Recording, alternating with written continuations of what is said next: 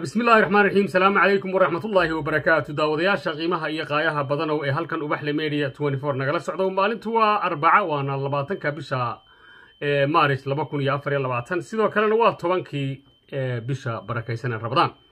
daawadayaal khadka telefoonka waxa aanu kula xidhiidhnay oo ku jira jiif caaqil siciid cawl cabdulle nuur oo ku sugan magaalada london. Arrimaha aan wax ka weydiinaynana waa arrin igu soo noqnoqotay oo runtii ay reer somalilan wax iga soo weydiiyeen taariikhda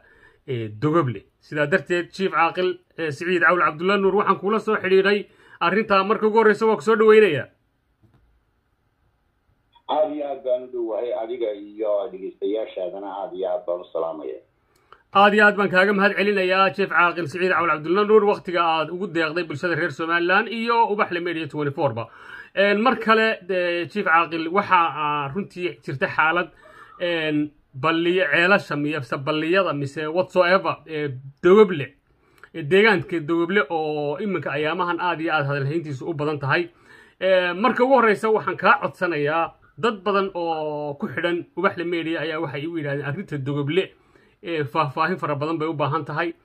Meelay ku taalla dadka qaar baan garanaynin ciddale qaar baan garanaynin. Marka bal marka ugu horreysa waxaan kaa codsanaya horta dogoble halkay ku taallaa deegaan ahaan gobollada somalilan gobolkee samayso ku taallaa marka hore ubaxla media iyo asxaabtaada kugu xidhan iyo shacbiga afka soomaaliga ku hadla iyo shacbiga somalilanba waxaan ku salaamayaa salaanta islaamka. Assalaamu calaykum waraxmatullaahi wabarakaatu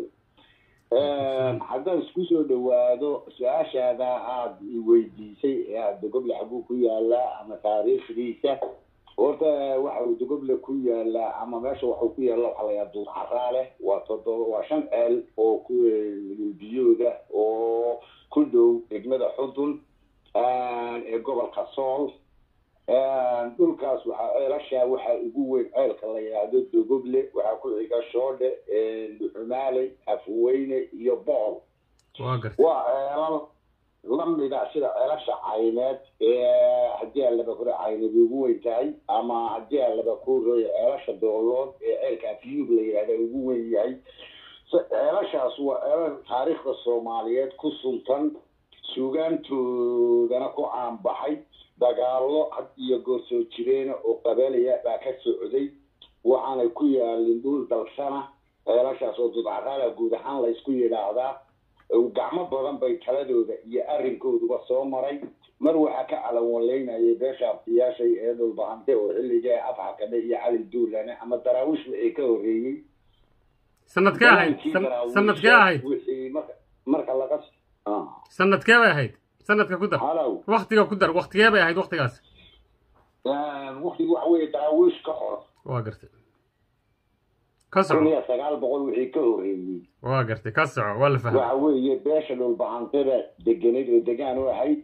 haddii la hore dagaalkii daraawiisheed waxay noqotay ilaa intii labaatankii sane daraawiish dagaalkeedu soconay waxa haystay dhul laysku haysto oo haddii la kuriya laysu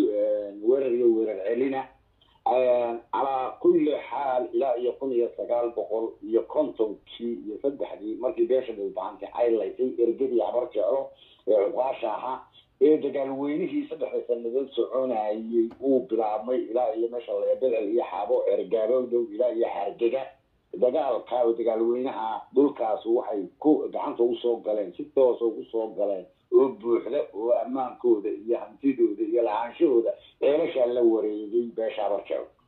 gartay ingiriiskiina uu ku dhexdhexaadiyey sidii shirweynihii ka dhacay nineteen fifty six magaalada xudun ee haddii alba kuu roon yahay dowladda ingiriisku ay labada beelood ku kala dhe ku dhexdhexaadisay dhulkaasna wuxuu raacay habar jeclo wixii damage iyo dhibaato iyo mag ka iyo qare khasaare dhacayna waxaa la saaray haba habar jeclo dhulkuna wuxuu raacay. Habar jeclo toddoba kun iyo lix boqol oo halaad oo kiiska la yihahdo qaran weyne baa ayaa habar jeclo marisay oo beesha dhulbaanka siisay dhimashadii iyo dhaawicii dhulkiina waxaa loo xukumay. Haddii alaba kuu roon yahay beesha habar jeclo horta taariikhdaas uu leeyahay dhulkaasu ilaa intii ka dambeysayna beesha habar jeclo ayaa mas'uuliyadeeda haysa ilaa iminka. Waxaan meesha laga saaray oo aan la dafiri karin oo ah beesha sacad yoonis oo ka tirsan beesha habar ramaan taasu hadday dagaal noqotona way ka qayb qaadatay. Haddii aan laba kuu yahay damagekii magtana lama bixin. Laakiin waxa weeye dad isku mida maadaama aanu nahnay maadaama ay reer yar ahaayeen maadaama haddii aan laba kuu roon yahay aanay habaryoonisnimo meeshaa degan habaryoonis aanu ahayn oo aanay habaryoonisnimo ugu dagaalamayn. Laakiin habarlamaannimo bay ku dagaal galeen ma dafirayno anigu haddii aan laba kuulay cid gaarana kuma sheegayo waxaanu haystaa beesha habar lamaan bicide iyo sacad mis labada reer la yahda laba reer oo isku mida isku ceela isku cawsa isku nafa isku mida ragga u kala abtiriya liihi sidaa awgeed maanta waxaa yimi haddii aan laba kuulay hadalhayn waxaan dhegaystay niman madax dhaqameeda oo habar yoonisa oo galbeedka ka hadlaya niman waxaan dhegaystay chief caaqil nuux maxamuud nuux maxamed nuur oo ah chief caaqil deegaanka. Ah haddii aan laba kuu roon yahay hadaladaas oo dhan waxaan dhegaystay saxaafadda beesha dhulbahante oo le xoog baanu ku qabsanay. Waxaas oo dhan waxaan leeyahay waa waxaan waxba ka jirin. Beelo gaarana heshiis kuma geli karaan. Haddii aan laba kuu roon yahay dhulka ceelashaas waa ceelal taariikhiya. Haddii aan laba kuu roon yahay ninka madax dhaqameedka ee beesha galbeedka hadlay waxa weeye waxa u taalla maaha caaqilkana waxaan leeyahay degaankayda anoo aada u ixtiraamayo arrinku arrinkii darar weyne maaha waxna waa local waxna waa kharaj. Wixii dibadda ee dhulkaasa ee deegaankaa bicidihiisa ay yaaliin beel gaara heshiis kuma garto heshiisna cid gaara kulama geli karto. Meeshuu darar weyne maaha local maaha boqoyay darashiis kuma haystaan. Waxa weeye adiga iyo boqorka boqor cismaan waxa weeye tuulada darar weyne ayaanu haddii alaba kuu rooyahay idinku dhaafnay hawsheeda. Oo ceeb badan iyo xumaan badan iyo haddii alaba kore dhibaato badan iyo ay ka jirto taa astura oo ceebta adiga iyo boqorku naga astura. Ma layihi soomaalida waxay tiradaa baahi nin joogtana tol lama wada gaarsiiyo arrin yar oo masqaala daratiya oo boho iyo darays dhex yaalla maaha hawlda taalla haddii alaba kore sacdiintiyo biciide anigu waxaan ahay sheef caaqil waxaan ka imi dood caraale ceelashaasaan ka imi laakiin chief caaqil maxamuud nuux maxamed nuux kama imano isagu maaha digaagka maaha marka waxaan leeyahay haddana iyadoo sidaa ay tahay hawl ka maqan yahay cidda dhibahante kulama geli karo heshiis ama ugaryaan kulama geli karo caaqilku waxaan yahay isagoo le haddii aan laba kuuriya beeshan cadowga ah ee haddii aan laba kuuriya bicida ka dhigaaya baa wax buunbuuninaysa waan leeyahay ugaaryahan igama jeclin adiga iyo aabbahana way dhaleen aniga iyo aabbahay iyo awowgay iyo awowgay iyo awowgayna way dhaleen waxa weeye jacayl gaara haddii allaba kuu roon yahay adigana kuma hayaan anigana ima hayaan waxa weeye inamaynu dhalay artiyaasheed xuduud baynu leenahay xuduudkana waa meesha la yidhaahdo meesha waa meesha la yidhaahdo haddii allaba kuu roon yahay duxada xudun ama xarkajiid la yidhaahdo border baa jira oo labadeeda beelood noo dhexeeya. Waa gartay ehelnimo halkaa halkaa caaqil halkaan caaqil halkaan kaa yaro dhex galo labada beelood macnaha borderka u dhexeeya waa isaaq iyo daarood baad uga jeedaa soo maha ugaaryahan isaaq iyo darona isaaq iyo daaroodna way tahay laakiin waa ugaaryahan iyo habar lamaan bay udhexaysaa ama haddii alaba kuu roon yahay dadka deegaankaasay udhexaysaa waa borderka de isaaq meeshaan leeyahay isaaq way la leeyahay. Meesha ugaaryahan leeyahayna daarood waa la leeyahay. Waa intaas. Waa run. Marka waxa weeye borderkaas cid soo goday helnimo waa lagu soo gashay jelas weligeedba waa cabaan haddii allaba kuuriy waa la wada daqa xaggaa waa u gudubnaa xaggan waa u gudubnaa laakiin calan iyo abaabi iyo waanu qabsan iyo sheegashada dhulbaante waxaan leeyahay wax alaale wax ka jiraa ma jiraan. Dagaal weyne uunbay arrinkaasu keenaya hadday dhacdo in la artiyaashayna waxaan leeyahay waa inaa ixtiraamtaan jaarnimada waa inaa ixtiraamtaan. Ma anigu somaliland ka hadli maayo dowladdeeda waxaan ka hadlayaa deegaanka waa og tihiin inaana wuxuu ciyaar aanay haddaynu isqabsano aanay ciyaar hawsheena ku dhammaanaynin. Deegaankaasina waa deegaanka caynkaasa waa deegaan haddii allaba kuu roon yahay border leh ceelashaasuna waa ceelal haddii allaba kuu roon yahay beeshaa mas'uulka ka ahay ay haddii allaba kuuri ama magaceeda ku hadlaya ee habar lamaan ama habar jeelo ay hantidooda ah aada iyo aada iyo aadna waan uga xumahay. Haddii allaba kuu rooyahay waxyaalaha ay arkiyaashay haddii allaba kule media ay kala yihiin waa garta ugu dambeyn xagga dhinaca dogoble aad baad u sharaxday boqol. Kiiba boqol caaqil haddii aad runtii faahfaahinta weli laga doonayaa waxa ay tahay xilligan xaadirka ah dogoble yaa ku sugan maxaase uga meel yaalla deegaamada dadkii wada lahaa horta mid baa jirta oo dowladda somalilan khalad weyn weyn weyn weyn bay gashay shaqaaqadii deegaanka ka dhacday ee labada qoys ee raas ee darays iyo bohoo ee dhex martay deegaanadii dhammaa ee aanu wada naalay ee dan socdonis iyadoo nahay haddii allaba kuu roon yahay beesha dabciide waxaa la sameeyey in dowladdii ceelal goysay. Ceelasha markii deegaanka laba qoys oo raas oo kamida beesha socdonis iyo beesha biciide ay qabsadeen waxay samaysay dowladdan oo reermiyigii sidaa balaana isugu dhicin in reermiyigii ay ciidamo kala dhex dhigtay. Haddii kuu roon yahay dhammaan bixidiya sacadyonis oo kala qoqortay oo haddii allaba kuu roon yahay ceelo beelaba ceelo ku uruurisay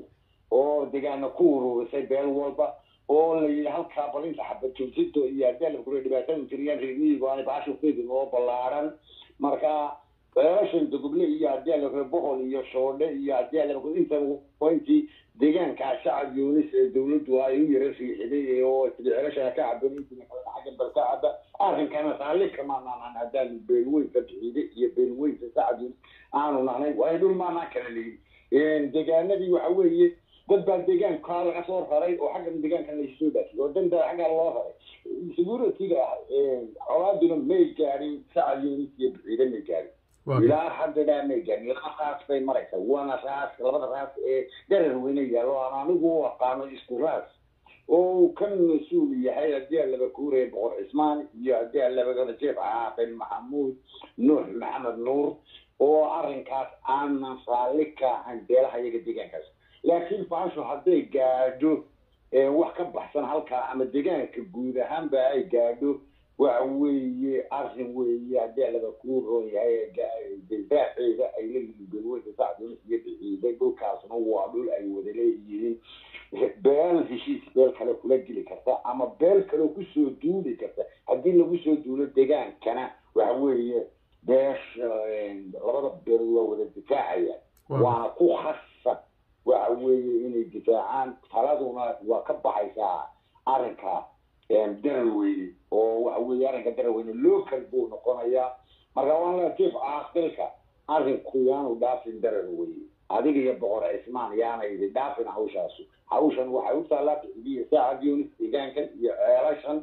Waxa weeye ninka dhulbahantay ama geela dhulbahantay ama waxa weeye nabad waa ku cabaya waa ku daaqaya waa ku jooga. Laakiin xilliga colaada waxa weeye kagama cabbi karo kuma joogi karo waayo dee dadka isdilaya ammaankoodaan la sugi karaynin. Laba ammaankaan la sugi karaynin. Sidaa awgeed inta nabad ay dhacayso ama oo beelaha wada gaadha ee waxa weeye in qolo waliba borderkoodii ku ekaato weeye ama xuduud beeleedkoodi waa gartay. Waa talo wanaagsan jief caaqil aad iyo aad baad ugu mahadsan tahay sharaxaadda arrinka dooble oo runtii ay bulshada igu xidhan wax iga soo weydiisay. Aniguna deegaankaasi maadaama uu iga yara fog yahay aanan runtii aqoon badan u lahayn balse aan door biday jief caaqil siciid cawl cabdulla nuur oo runtii deegaanka ka soo jeeda aqoon badanna u leh inuu ka warbixiyo. Jief caaqil aad baad ugu mahadsan tahay warbixinta mugale ee aad ka bixisay arrinta dogoble dhammaan ciddii igu xidhnaydna waxaan rajaynayaa inay arrinkaasi ku qanceen balse inta aynaan ka bixin waxaan rabaa su'aal ugu dambaysa inaan ku weydiiyo jief caaqil adigoo raalli ah. Somalilan waxaa ku soo foolle doorasho insha allah waxaadna moodaa iminka in arrimo badan oo caqabad ku ahaa doorashooyinka laga gudbay oo ay iminka xilligan bisha noofembar haddii ilaahay ka dhigo inay doorashadii jamhuuriyadda somalilan ay dhacdo ee madaxtooyada. Lana filayo inay tartamaan saddex musharax oo kale ah muuse biixi faysal cali waraabe iyo cabdiraxmaan ciro maadaama aad deegaan aada u tiro badan dadkiisu u tiro badan yay ka soo jeedo maadaama taladaada dad badan ay qaataan oo ku xidhan yihiin maadaama aad xaaladda somalilan la socoto maadaama aad og tahay lexjeclo badanna ay kaa hayso bal cidda aad danaynayso inay doorkan dan u tahay somalilan maxaad kula talin lahayd? Waa su'aal wanaagsan su'aasha aad weydiisay. Aada iyo aadna waad ugu mahadsan tahay. Afkaaga caanagee lagu qabay baa la odhan jiray. Waxa weeye aniga haddii allaba kuricayo shacbiga somaliland meel kastaba ha jooge maanta waa ogyahay ninka samata bixin kara madaxweyne muuse biixi waynu dooranay haddana waa u kordhinay aragnay tacabkiisa waxba iskalama harin wuu halgamay wuu halgamay wuu dadaalay wax waa meel wanaagsan buu wax dhigay haddii alaba kula dhibo xilli adag baa la kulmay arimo ku adag baa la kulantay dagaalo jamaadeed baa la kulmay dagaalo soomaali weyn baa la kulmay dagaalka intaasoo dhan maalin shacbiga somaliland waxma weydiin taajiriin waxba ma weydiin shilin uma weydiin difaacida qaranka shilin ummadda somaliland uma weydiin waxa weeye dhiba hadday dhaawactay hadday dhimasho tahay waa taqaanaa xabadda rasaasa ee maalin dhacda ama dagaalka maalin dhaca one million buu ku kacaya aad iyo aad buu ugu mahadsan yahay waxaan ugu hambaliyeen oo kale heshiiska oo kale uu soo xidhay marka waxa weeye tacab wanaagsan buu shaqaystay magac wanaagsan buu dhigtay adeeqa laba kuuriyay dowlad kastaaba ama calan kastaaba hoggaan kastaana dhaliil waa leeyahay laakiin maanta maanta shacbiga somaliland waxaan u sheegayaa ninka samata bixin kara ee midnimadooda iyo unidnimadooda iyo walaalnimadooda midayn kara inuu yahay faysal cali waraare inuu soo dadaalay oo soo samray oo ilaa iyo haddii two thousand twenty anagu waxaan isbaranay shaqsinimo dagaalkii sokeeye ee habarhabarta lagu sheegi jiray baanu isbaranay waxaanu ku kulanay shirweyne aanu isugu nini nineteen ninety four isugu nini haddii lama kuu royay london shirkaasaanu isku baranay